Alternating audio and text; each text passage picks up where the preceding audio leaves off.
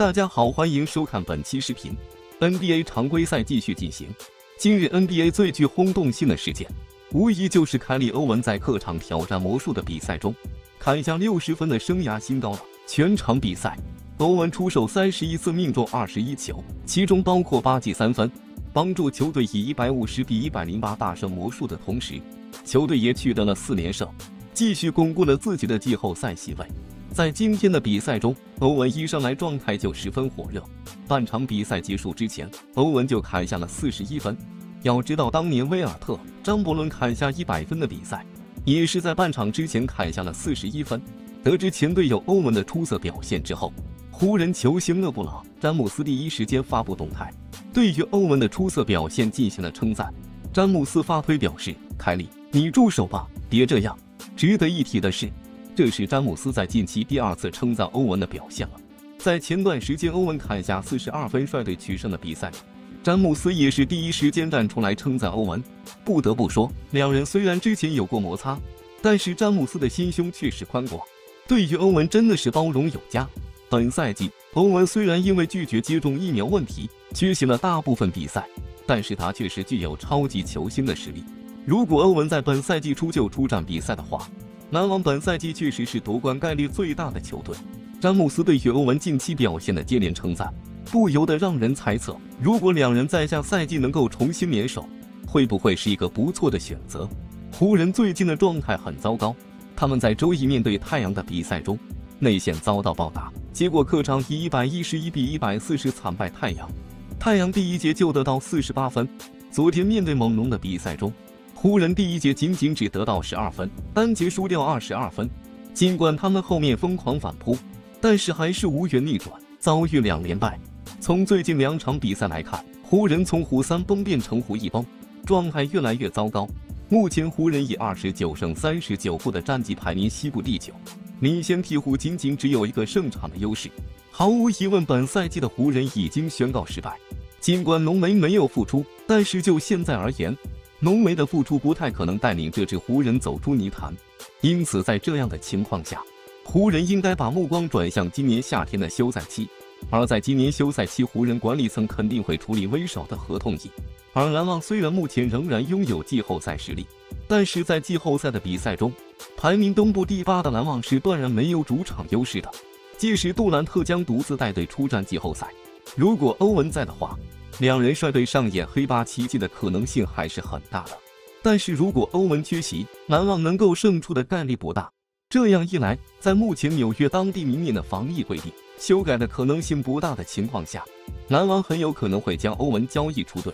这对于湖人来说，就迎来了一个良好的机会。毕竟，即便欧文只能出战客场，他的作用也要比现在的威少强。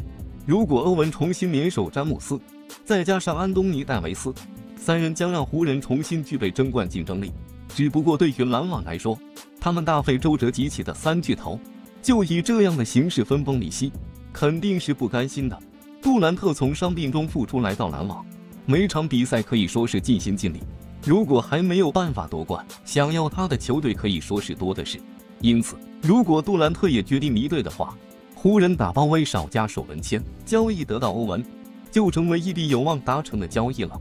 你认为湖人与篮网之间这笔交易达成的几率有多大？欢迎在评论区留言讨论。接下来，球哥带大家看看勇士的消息，继续补强。勇士太阳爆一换一地震交易，单场二十五板励志个助库里冲关。近几场比赛，太阳球员比永博的出勤率非常高，他近期的命中率能达到恐怖的百分之七十四点五。作为内线球员，比永博正在用自己的实力来赢得在球队中的位置。他现在的上场时间正在慢慢超越麦基，而成为球队中仅次于艾顿的第一替补中锋。比永波本赛季场均能够得到六点五分和五点二篮板，投篮命中率能够达到百分之六十一点八，表现非常高效。据悉，太阳休赛期考虑到球队续约问题，保罗和布克作为两大核心自然是顶薪。艾顿上赛季就因为没有给他支付顶薪，而和管理层产生了矛盾分歧。据消息人士透露。艾顿大概率会得到他想要的薪资而留在太阳队，这样太阳还要考虑布里奇斯和佩恩的续约问题，大概率会选择送走比永博。比永博在西班牙开始篮球职业生涯，二零一一年通过选秀进入 NBA，先后效力于山猫线黄蜂、猛龙和魔术等球队。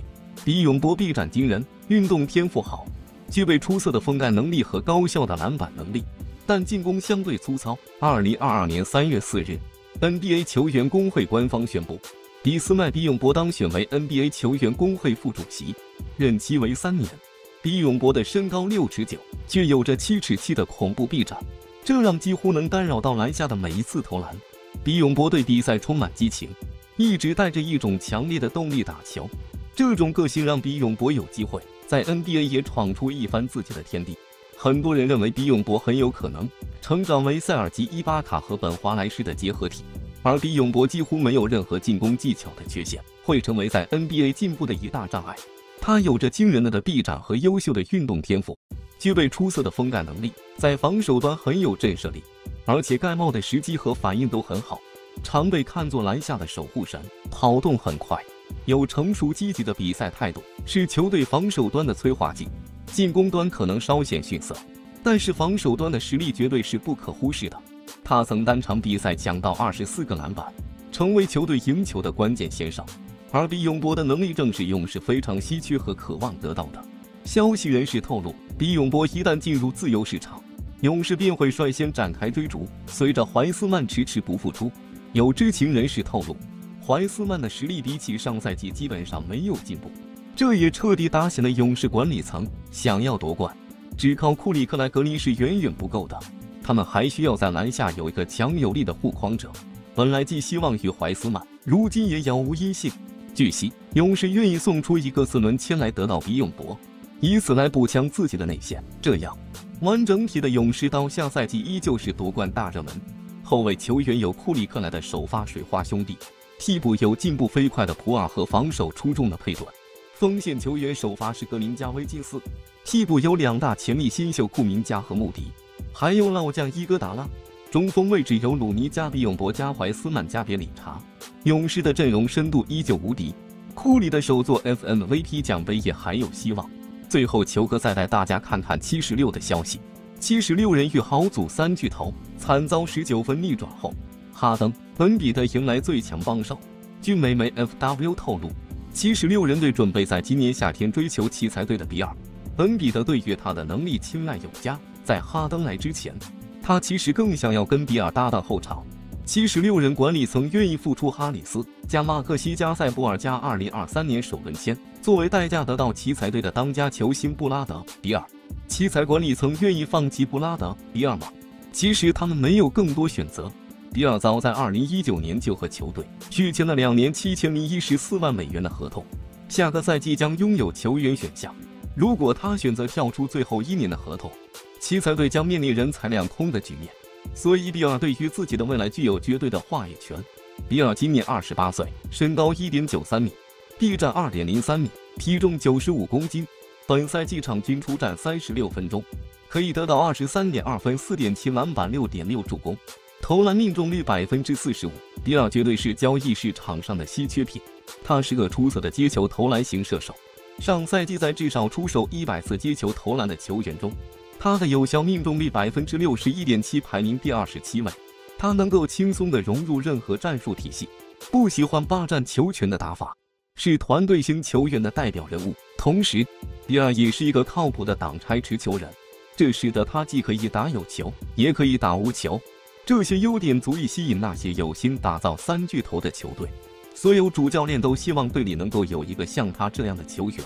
反观奇才队，如果最终挽留比尔无望，七十六人队所给出的这份交易筹码，对于他们来说还是相当具有吸引力的。在哈登的交易中，篮网队曾多次索取马克西、塞布尔这两名天赋异禀的年轻球员，都没能说动七十六人队管理层。马克西今年二十一岁。身高一点八八米，体重九十一公斤。本赛季代表七十六人队出战六十场比赛，场均得到十七点三分、三点四篮板、四点四助攻，极具培养价值。塞布尔今年二十五岁，身高一点九六米，体重九十一公斤。本赛季可以拿到五点七分、二点四篮板、一点二助攻、一点八抢断、一点一封盖的全面数据。他在防守端存在感十足。他们两人的加盟对于奇才队的重建工作将起到至关重要的作用。总体来看，这是一笔对于七十六人、奇才两支球队都能各取所需的交易。球迷朋友们，你们觉得这笔交易如果能够最终达成，七十六人队能够获得下赛季的 NBA 总冠军吗？